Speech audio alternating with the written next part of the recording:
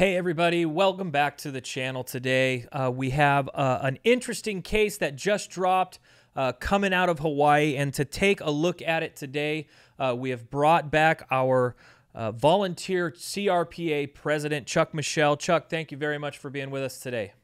Always a pleasure, fellas. Thanks for having me, and thanks for getting the word out. Thank you, absolutely. But before we get into that today, please be sure and like, share, and subscribe to these videos. It really helps us with the algorithms and getting this information out there to as many people as possible. And with that, again, before we get into it, let's uh, go ahead and hear a word from our sponsor of this video.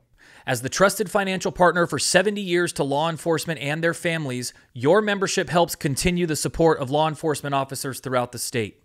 As a member, you'll have access to all member benefits, including checking accounts with ATM fee rebates and no monthly fees, certificates with highly competitive rates, auto loans, home loans, online technology with 24 7 banking convenience, and much more. And don't forget, the credit union is now extending memberships to CRPA members. So join today at www.thepolicecreditunion.org. The link will be in the description below and continue to discover the benefits of membership while supporting law enforcement officers today. All right, Chuck. So uh, this is actually really exciting because this is uh, something that you know we have been working on here in California you know, we've talked about Senate Bill 918 from last year. We've got Senate Bill 2 this year. It's essentially the same bill. It's looking at some CCW uh, requirements as well as the sensitive places. Uh, that it looks to create here in California. What we don't necessarily talk about is that last year, while California failed to pass that bill, other states did and uh, uh, Hawaii Hawaii was one of them. So uh, essentially, what you're seeing is a futuristic picture of California with SB2 if it passes. But Hawaii got some challenges to these laws that they implemented last year. Uh, and this is the decision that we see. But before I get your take on it, Chuck, I just want to read this because, you know, you have uh, an Obama appointed judge out of Hawaii saying something that you wouldn't necessarily uh, expect. So, Jacob, if you can pull this up. Uh, from the decision, the the the judge says it uh, it follows that there's nothing in the Second Amendment's plain text that makes a distinction between public places. The Second Amendment's plain text, therefore, also naturally encompasses places that are generally held open to the public. To be sure, Bruen uniformly rejected the respondent's arguments that the state is permitted to condition handgun carrying in areas frequented by the general public on showing of a non speculative need for armed self defense in those areas. Basically, basically saying, look, Bruen went over this. Uh, you can't create these sensitive places and and prohibit people from carrying uh, in public areas. So, Chuck, if you can kind of take us through this, maybe from the beginning, uh, and you know what this decision means, and I'm also curious, you know, do you expect this to get appealed to the Ninth Circuit? Uh, well, the quick answer to that last one is I'm certain it'll be appealed to the Ninth Circuit, but they still have to go through some. Uh, this was a, basically a, a preliminary injunction, a, a, temporary restraining order. So they have to get, they have to finalize that in the in the uh, district court first. But keep in mind, after Bruen came down, uh, all the anti-gun owner states went crazy. Uh, they became they're very angry. They were very vindictive, and a number of different states: New York, New Jersey, California, uh, some others passed these laws to try and get around Bruen, where they tried to make it harder to get a concealed carry permit. And then once you had one, they tried to make it useless by making every place where you might need to carry it a sensitive place where CCWs were invalid. So uh, New York's was immediately challenged and mostly lost. That's now in the Second Circuit. Uh, California didn't didn't wasn't able to pass theirs. They had SB 918 last year, which failed by one vote. Uh, and but now they have SB2 back this year. They they removed the urgency clause, which would have required, which last year required a two-thirds vote, uh, so that it only requires a majority vote. So SB2 is probably going to pass in California, and then Hawaii passed their ban on in their their law that invalidates uh, licensed carry permits uh, in all the sensitive areas that they designated, which were most public areas. And, you got and then one other twist on this, this is what they really love to do. Uh, they put in a, a, like a vampire provision where if you do if if you're a if you're a business owner and your business is open to the public if you want to let people with a CCW come into your business, the state law was going to require you to put up a guns allowed sign.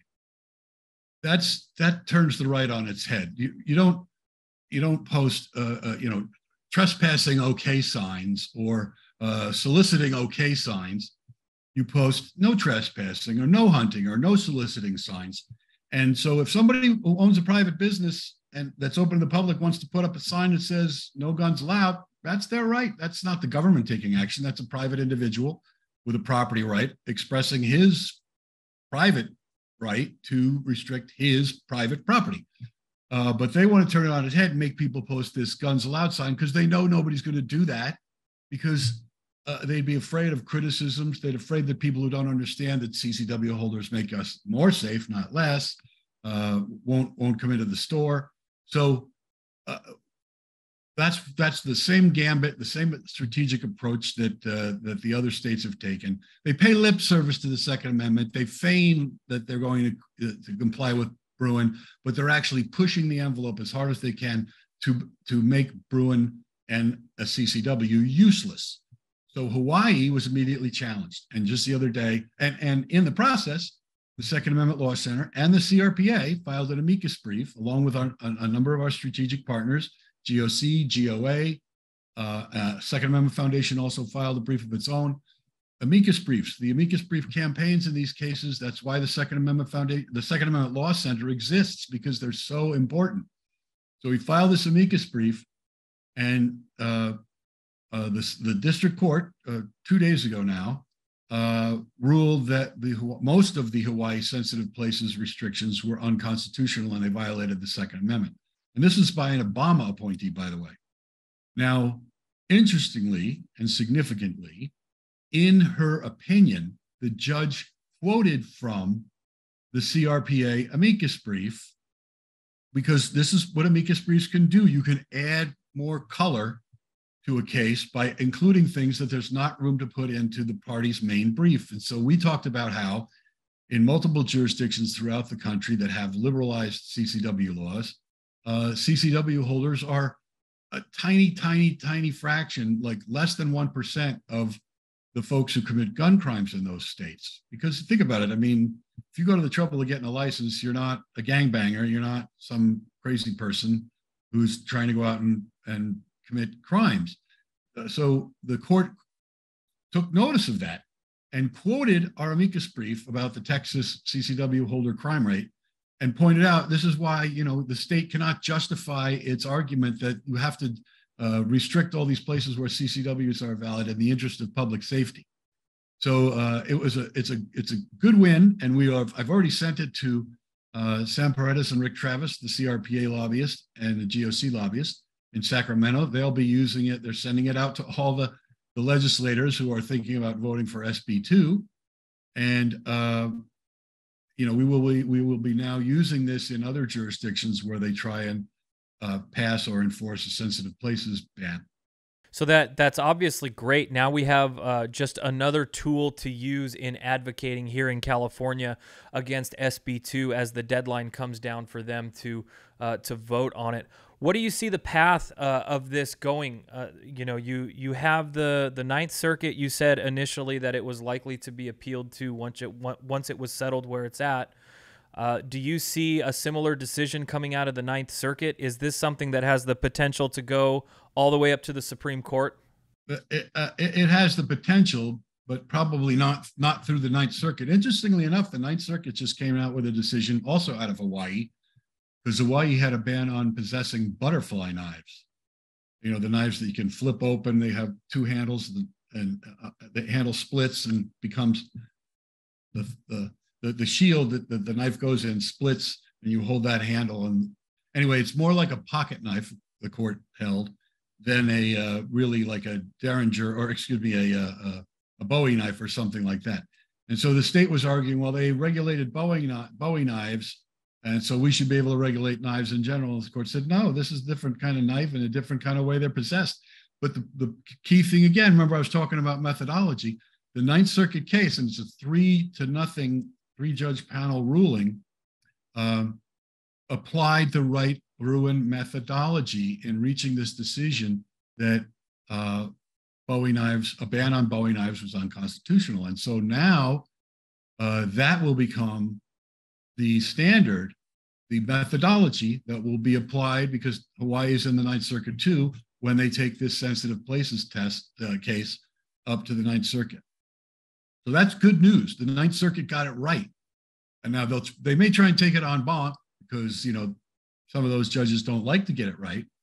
Uh, but uh, uh, it's going to be tough because there's three judges, so three judges, unanimous. Uh, so, but we'll have to see. But in the meantime, right now, there's good precedent in the Ninth Circuit, circuit for the Bruen test to be being applied faithfully, not overreading what arms, what is or is not an arm, a protected arm, uh, and not stretching to find historical analogs in in in old laws and saying, oh yeah, that's the same. You know, they're trying to argue that a uh, that a regulation, not a ban, on Bowie knives, something that says you can't carry it here, there, or that. You know, there it's never said you can't have one. Uh, they're saying the states are trying to argue that that shows why you can ban semi-automatic firearms and magazines that hold over 10 rounds. That's a stretch. That is not the same kind of a law. It's not done for the same reason, and it's not done in the same way. And that's the the uh, test the Supreme Court advocates. You have to look at the how and the why of the historical law to see if they were addressing the same kind of societal problem and how they addressed it. And then that would be an analog. So I'm getting a little into the legal weeds here, but the point is Ninth Circuit got that right. And if, if the Hawaii sensitive places case comes goes up through the Ninth Circuit, uh, it will likely have to face, face the same type of methodology. And so will uh, uh, CRPA's challenge to SB2 because they're going to pass that. That's Newsom's baby. And we already have the lawsuit ready. Uh, the, the day he signs it, in fact, we're probably going to file it a couple days before he signs it and send it out to all the media that he is going to hold his press conference for so that the day that he announces he signed this law, we'll announce that we've sued him over it. Well, I seem to be hearing that a lot, and I think this is actually a great example. This Wolford v. Lopez uh, lawsuit coming out of Hawaii, uh, that these courts are getting it right, and I, I, hate to harp on this because I know we spent a long time, especially when the with the well, yeah, when the when the Bruen decision came out. Uh, it, are these just uh, continued wonderful consequences of the Bruen decision? Is the Bruen decision just sort of forcing these courts to get it right now? Is that what we're going to continue seeing? Well, the Bruen decision is forcing some.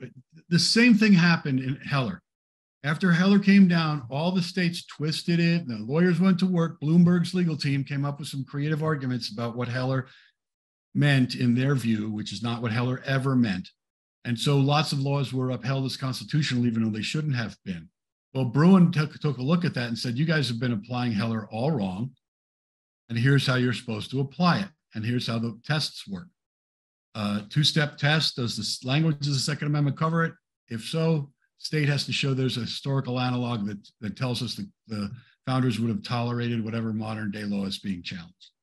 Well, they've already distorted that, twisted it around, and a lot of courts are getting it wrong. And that's why you're seeing some courts upholding bans on semi-automatics and, and standard capacity magazines because they're applying the Bruen test wrong.